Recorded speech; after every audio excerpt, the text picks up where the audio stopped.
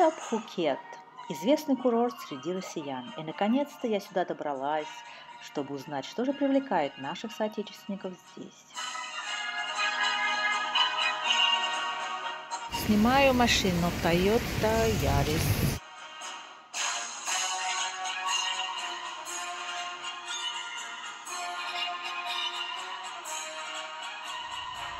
Что сказать?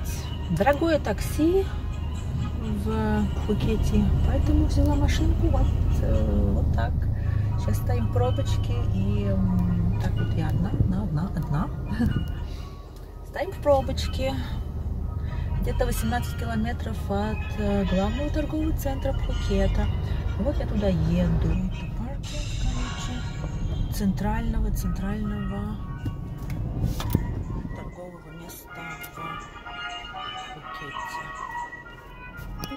припарковали.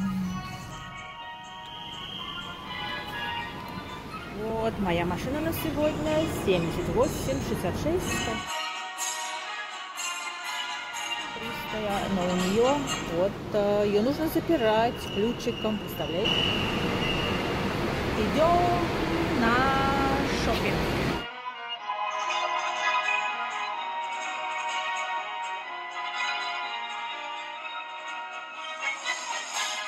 Я не понимаю, почему русские любят Пхукет.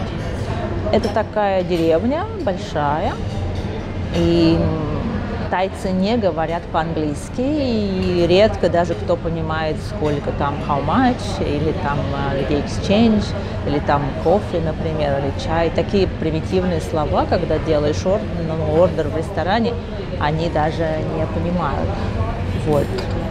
И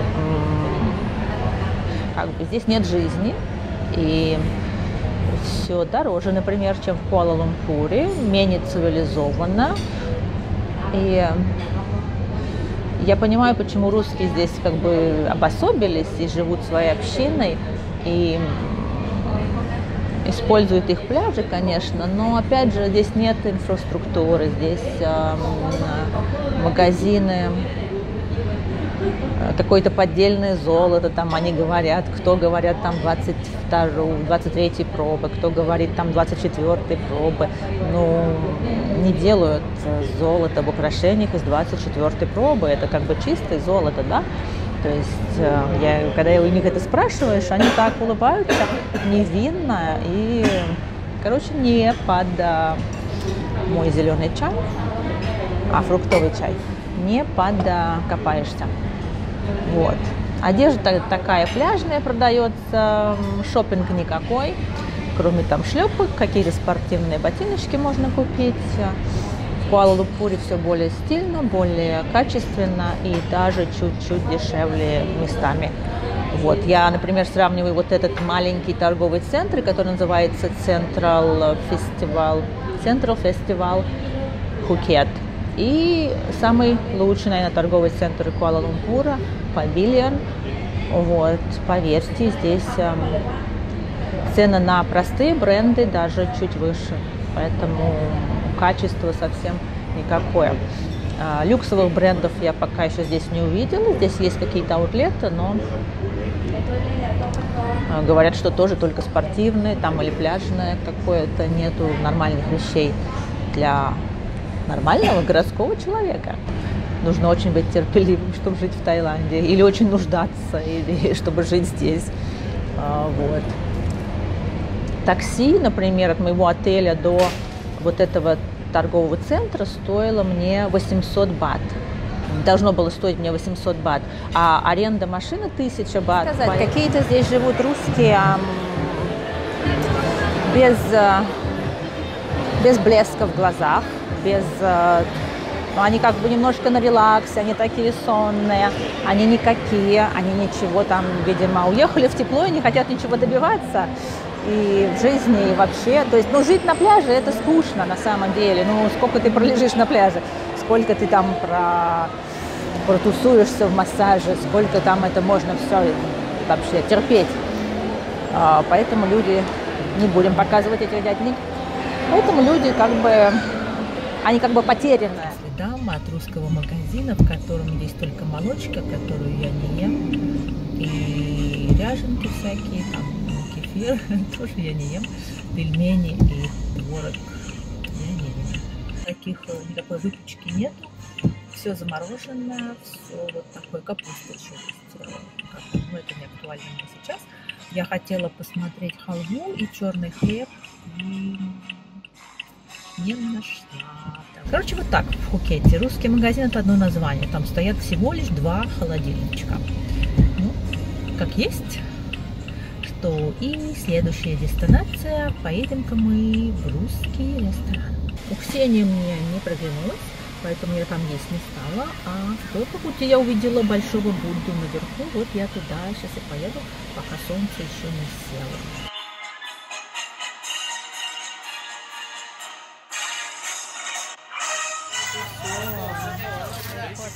photo.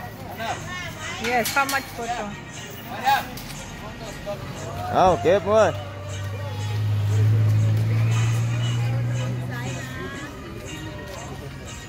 Thái khổ bớt sáu dài, bốn xuống, kịp luôn. Bốn mươi, kịp.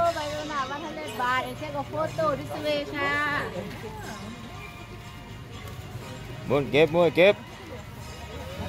Kịp mua.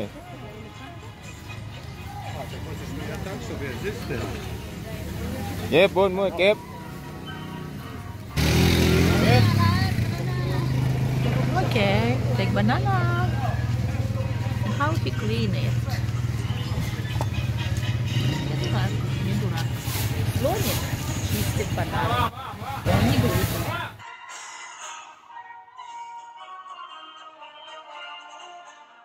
Это самое красивое место Пхукета – площадка перед э, Буддой.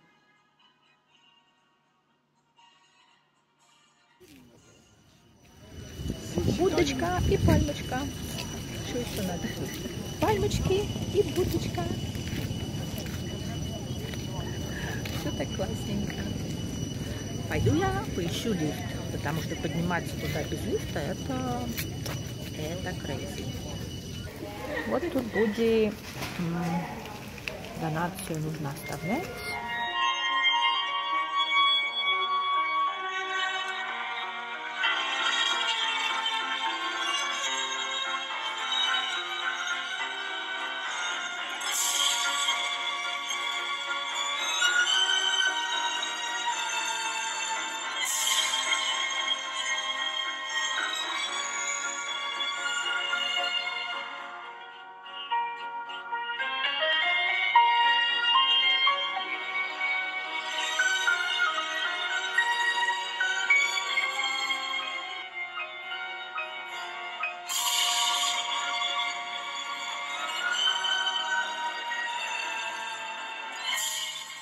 Вот такой Будда в лучах заходящего солнца, очень красиво. И под нами уже стемневший Пхукет расстилается.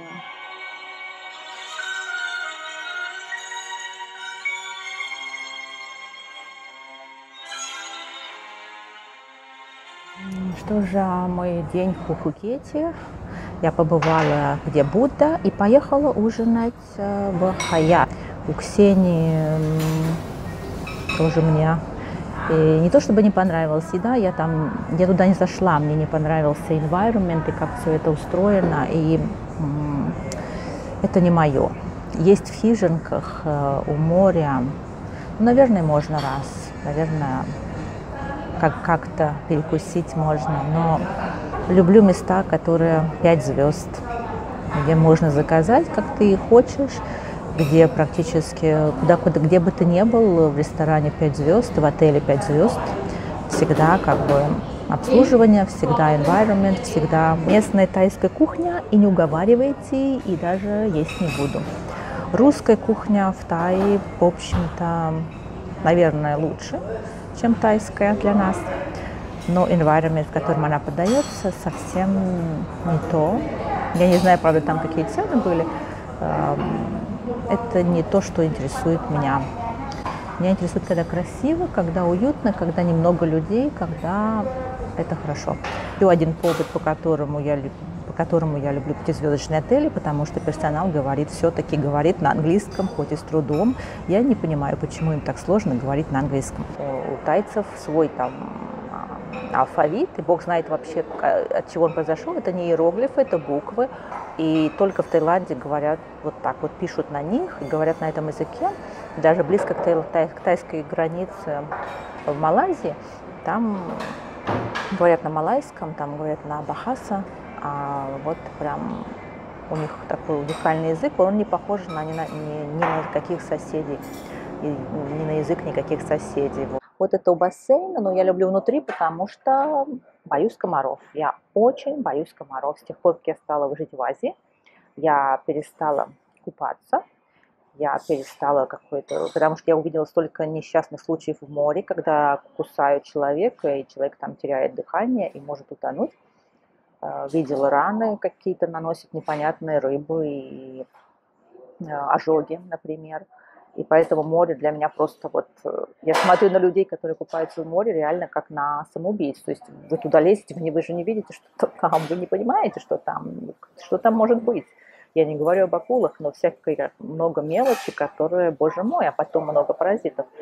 Поэтому вот для меня это... А также комары, конечно, комары. Комары никто не отменял. И один укус комара иногда может стоить жизни, а может стоить и, ну, по крайней мере, проблем. Вот. Это Азия. Вот мой ужин это картошечка пюре и сибас, но честно на сибас это не похоже, да уж. Ну что сказать после моего ужина, даже Хаят не оправдал моих ожиданий. Сибас, мне подали какую-то неизвестную маленькую рыбу. Когда я спросила, почему Сибас маленький, они сказали, ну он же тайский, они маленький Сибас тайский. Под большим количеством чеснока и специй, как бы гриль, да, то есть там вообще ничего не должно быть. И, видимо, до этого он был замаринован, кости убраны, и непонятно, как бы, как он там на гриле приготовился картошка из э, порошка. Вот такой хаят по-тайски. Не стоит в Таиланде ожидать хорошего качества. Вот и все тем, кто едет.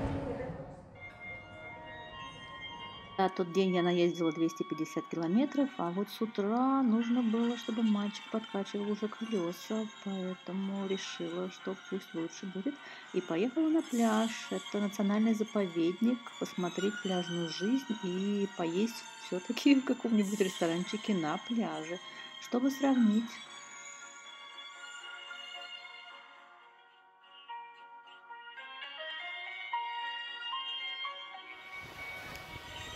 оно море.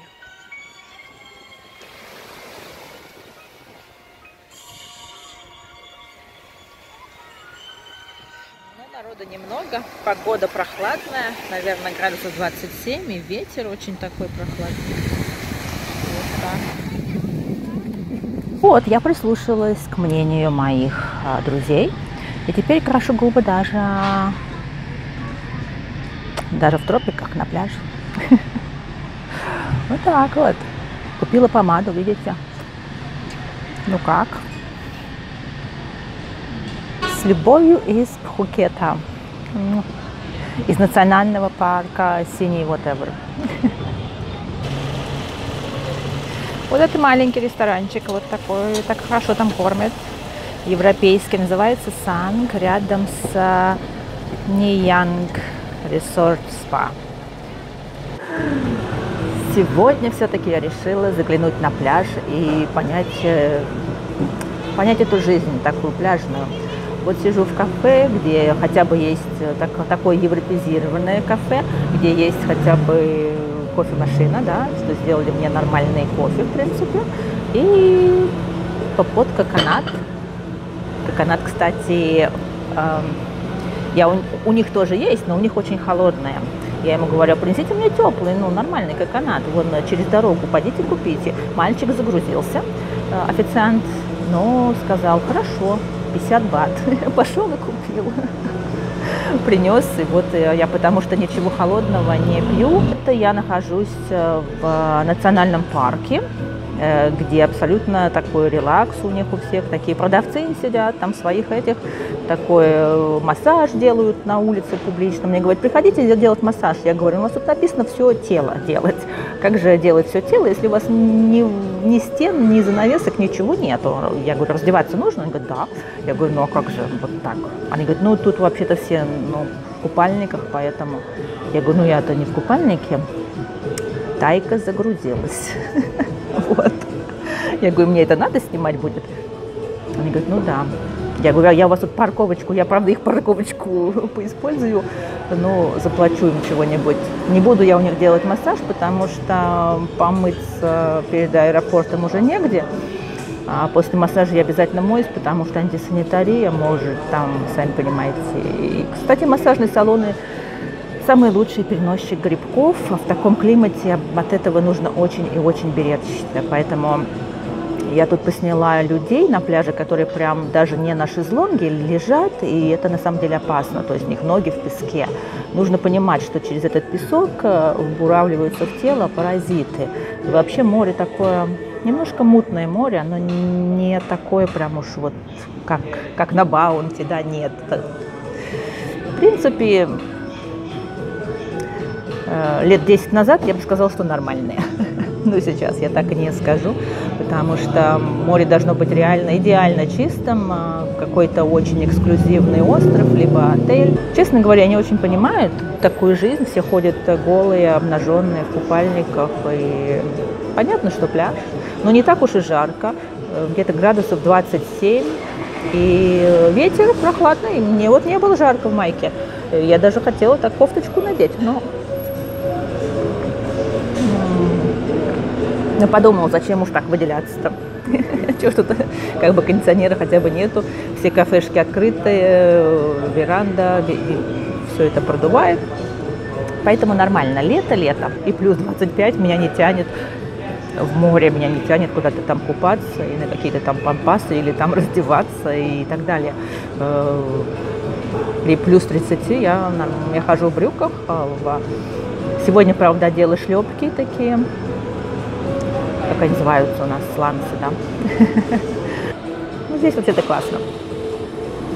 Что сказать, классно на часок заехать и уже лететь домой, где там дела и вообще, и не знаю, почему-то такая атмосфера вот такого релакса, да, у меня ощущение, что не идет энергия, что она меня не подзаряжает, она меня расхолаживает и как-то вот э, энергия уходит, кстати, как-то теряется в пространстве. И жизнь, когда вот я, например, живу не в городе, мне нужна городская энергия. Это я поняла здесь, потому что Пинанг – это деревня одна за другой, вот, и совсем не мое. И э, мне нужна городская энергия, мне нужны события, мне нужно куда-то там собираться, общаться, мне нужно с людьми там коммуницировать, там вау, говорить, там фоткаться и что-то такое. Это подзаряжает. Общение с людьми, которые тебя знают, которые тебя ждут, которые тебя рады видеть на событиях, и с которыми ты приходишь изо дня в день, и как бы так, ну, ну, ну как дела и так далее. И у меня таких людей несколько сотен, потому что в Куала-Лумпуре и в Маниле я приеду на любое событие, меня половина из приглашенных знает. А те, кто не знает, сразу же знакомятся.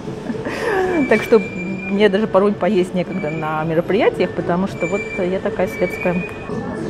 Ланч в этом таком кафешке, называется Сан, очень меня порадовал, потому что сибас был настоящий и только что пожаренный, э, не маринованный и точно не старый, как вчера, в Хаяте.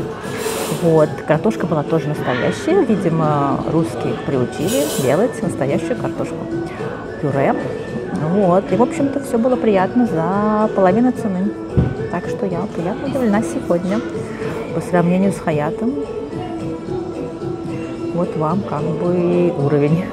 В ланче иду к машинке и уже пора в аэропорт. Еще немножко проедусь по этому парку, потому что хочется посмотреть, и такая красивая природа здесь.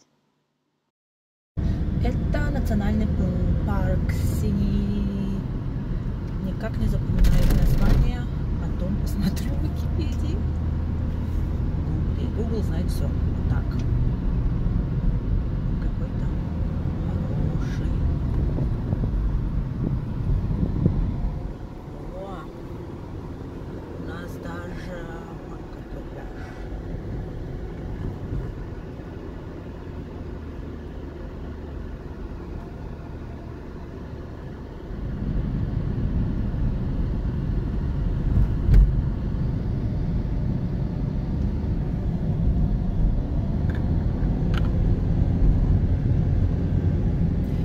Бай-бай, Пхукет. Пока.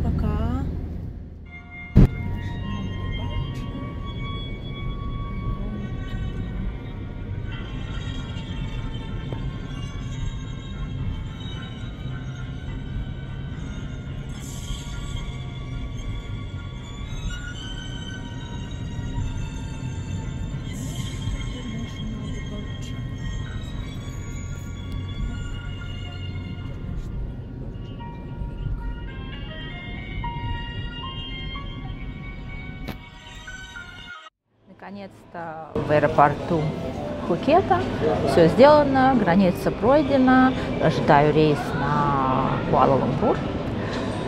Мой дорогой Куала-Лумпур, уже соскучилась за несколько дней здесь. Вот, машину сдала очень быстро, за буквально пару минут, э, проверили минуту, все, как бы, и на той же машине довезли до аэропорта три минуты. Очень рекомендую Car Rent 1000, ре- 1000 бат за день, плюс э, бензин сама заливаешь, вот, и никаких там подводных камней, никаких э, undercharge и депозитов и так далее. По кредитной карте, паспорт и водительские права, конечно. Причем любой страны, международных не нужно, главное, чтобы они были на английском языке. Рядом со мной проходят туристы, которые в шортах и маечках. Вот. И ну, я от них отличаюсь делово-спортивному виду. И уж точно белизной кожи. Потому что кожу я свою люблю. Берегу ее. И точно не буду позволять солнцу ее портить. В жизни и так слишком много вредных вещей, которые портят, которые портят нам жизнь. Вот. Но люди не понимают. Это их выбор. Мы всегда будем молоды. А кто жарится на солнце, ну, пусть постареет. И все хорошо. Удачи!